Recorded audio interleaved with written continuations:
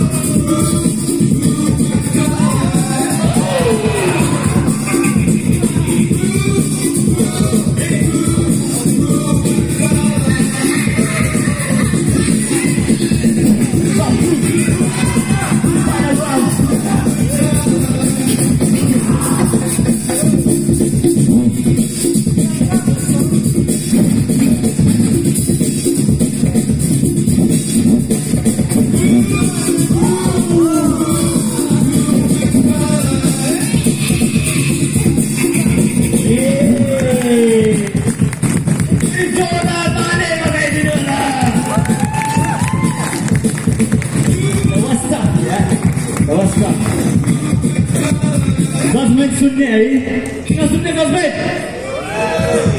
Who's going to battle against Keyboard Samurai?